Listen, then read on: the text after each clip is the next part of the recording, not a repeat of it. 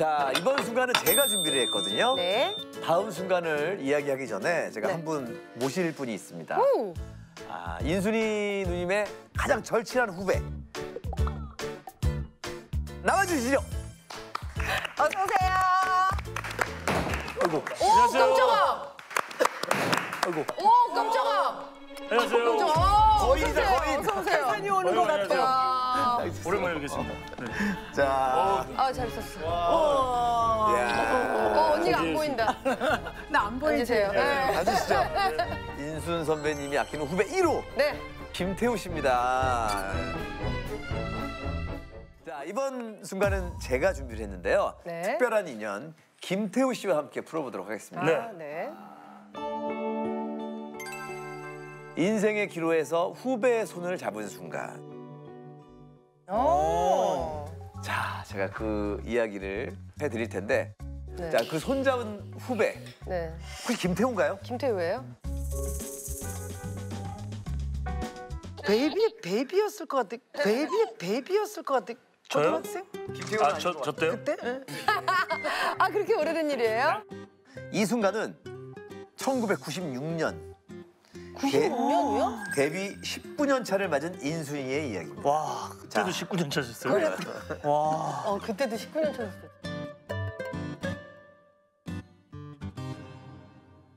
걸그룹 히자메로 데뷔 후에 어? 쉴새 없이 달려서 어느덧 마흔이 된 그녀는 미래에 대한 고민이 부쩍 많아졌습니다. 음, 이제 내 나이에 맞게 트로트를 해야 하나 그런 생각도 해 라며 속내를 내비셨습니다. 근데 90년 당시에 어떤 생각이 드셨길래 아 이제 트로트를 해야 되나 이런 생각을 하신 거예요? 어 이제 애도 낳고 음. 이제 댄스를 한다는 게 어, 관객들이 볼 때 아, 저, 왜 저러지라고 생각할 것 같았어요. 그때는 엄마다 뭐 여자가 나이가 있다거나 그러면 은 조금 이렇게 조금 활동이 좀 이렇게 저조했었던 때 그게 되게 불안했어요. 없어질까봐.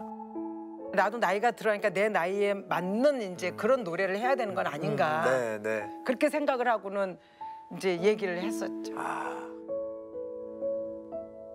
그러자 한 남자가 버럭 화를 냅니다. 우리는 누나를 보고 따라가고 있는데 무슨 소리야? 어, 그럼 우리도 나이 들면 소울 음악 그만해야 돼? 그건 아니지. 성대모사인데? 네. 네. 좀 비슷하죠? 네. 따끔한 충고를 던진 이 남자는 김태우보다 더 절친한 인순이의 후배 가수였는데요. 누구지? 너무 궁금한데? 하지만 한 달 후 인순이에게 화를 내고 사라졌던 남자 후배에게서 전화가 걸려옵니다. 급해요 급해 하며 인순이를 다급히 작업실을 부른 남자 후배는 오직 가수 인순이만을 위해 제작된 앨범을 줬습니다.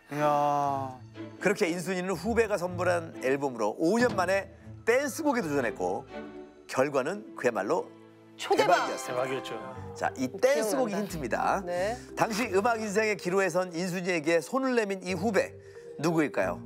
태우 씨랑 인- 인연이 깊은 분이죠? 아, 저 엄청 깊죠. 자, 알겠는데 힌트 좀 한번 줘보세요. 힌트요? 네. 너에 뒤에서 너에 뒤에서 어, 똑같아.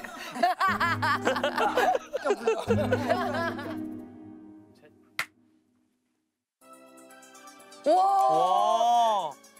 안녕하세요. 어, 인순이 누님을 진심으로 존경하는 후배 박진영입니다. 아, 아, 빛나는 여자예요. 진짜 빛나는.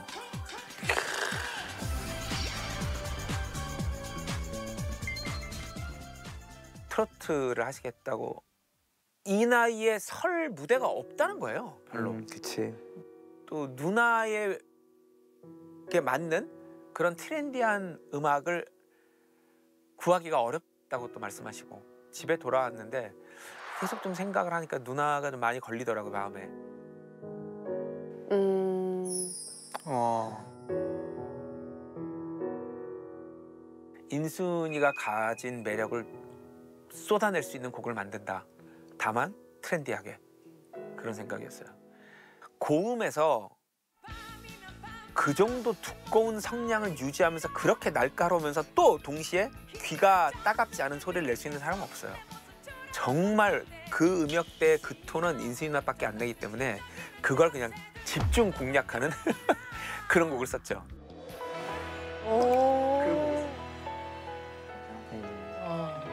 내가 누나한테 곡을 만들어 드리면 좀 도움이 되지 않을까?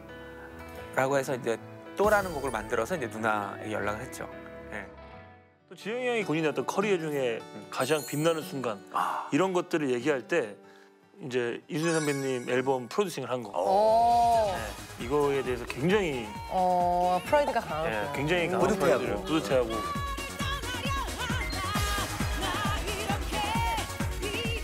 누나 정말 좋은데 한 번만 더. 누나 정말 좋은데 한 번만 더. 맞아. 한 번 더, 한 번 더. 너무 힘들어요. 그래서. 너무 힘들어. 한 100번 넘게 불렀을 거예요. 맞아 진짜. 100번 넘게 불렀어. 밖에 있는 프로듀서도 안에 있는 가수가 지치는 걸 보면 이제 포기하는데 음, 누나가 분명히 더 잘할 수 있는 건 내가 아니까 좀만 더 해보자라고 했을 때 누나가 와 그걸 끝까지 따라와 주더라고요. 오. 아, 뭐, 뭐 노래는 뭐 당연히 압도적이지만 아직도 퍼포먼스조차도 지금도 어, 저보다 잘하시는 분.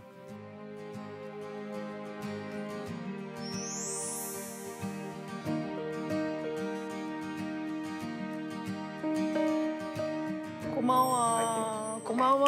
진짜. 와, 그러니까 누나한테도 지금 100번 정도 부르게 했다니까. 그러니까요. 100번 넘어. 100번 넘어. 100번 넘어. 왜냐면 우리는 그냥 정박에 거의 노래하는 스타일이지 막 이렇게 또 또 이런 걸 해보질 않고 땡겼다 늘렸다는 걸 해보질 않아가지고 야, 싱코라 그러잖아. 이렇게. 오. 이거 시, 실망을 시켜주면 어떡하지? 막 이런 걱정이 있었는데 너무 하고 싶었어. 어. 많이 안 하신 거예요. 그런 거야? 예. 김태우 몇 번? 100번 이상? 저는 애수를 가장 기억하는데 이 집 애수 때. 난 아직도 이거를 너무 빨리 땡기면 약간 트로트 느낌이 난다고 그것만 박수 치면서 진짜 한 200번 한 것 같아 박수 치면서 난 아직도 그대 이거만 그래서 결국 녹음하다가 거기에까지 부스가 많아서 여러 가수들이 동시에 녹음을 하는데 복도에서 무릎 꿇고 손 들고 서 있으라는 거예요 어, 몇, 몇, 몇, 몇 분? 한 시간 있었던 것 같아요 진짜? 팔아먹겠다. 안 울었어?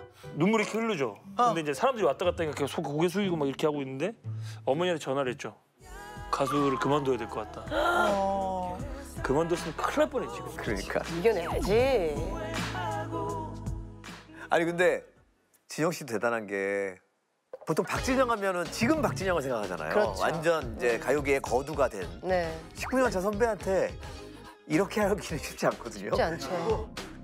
이제 말도 안 된다, 그렇게 생각하니까. 왜냐면 4년 차 가수면 지금 민석이보다 덜 된 거잖아. 그쵸. 데뷔한, 데뷔한 지. 그쵸, 그쵸. 그러니까 어떻게 보면 애기 가수에 속하는 건데도 와. 그 자신감이 대단한 것 같아. 대단해. 뭐 한 소절 하면 아 너무 좋습니다 하고 넘어갈까요? 막 보통 이렇게 할것 그래, 같은데. 근데 하는 말마다 맞아. 그러니까. 그러니까 안 갈 수가 없어. 근데 저희도 이게 녹음을 너무 힘들게 하니까 숙소에 가면 멤버들끼리 아 이게 맞아? 이게 무슨 음악이야? 그냥 혼나는 건데. 어. 근데 잘 되니까 무슨 말을 못 말을. 못해, 말을 아, 못해. 어. 잘 되니까 말을 못 해. 박진영의 그 확신감은 대단한 것 같아. 그러니까요. 그럼요, 그럼요. 또 그렇게 그렇게 너 너마저 나를 떠나려 하나 나 이렇게 이렇게 또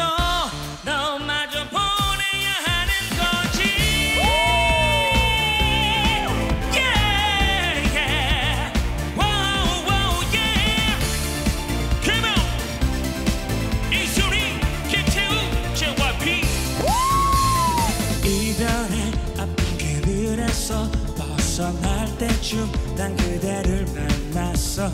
그대의 따뜻한 품에서 상처는 아물었어.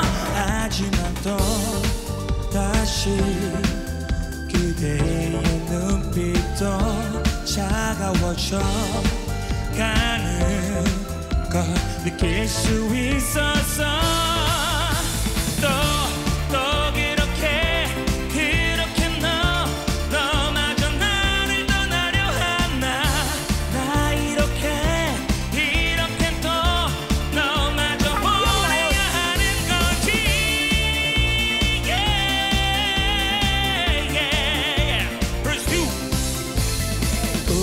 있었어. 정말 오랜만에 그댈 만나서 다시 행복했었어. 한참을 머물러 있었던 어둠을 걷어갔어 이대로 영원히 머물고 싶었어. 또 다른 아픔은 없을 줄 알았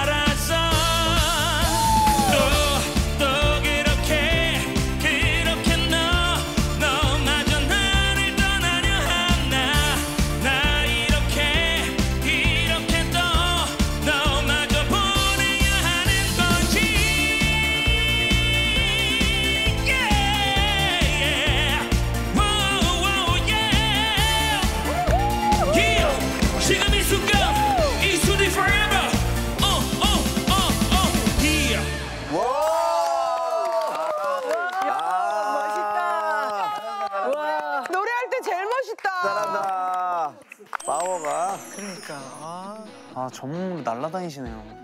아주 시원한 무대였습니다. 우리 누님 어떻게 들으셨어요? 어, 너무 너무 멋있어, 너무 멋있어. 너 어쩜 이렇게 쉽게 부르니? 그렇게 예? 어, 이렇게.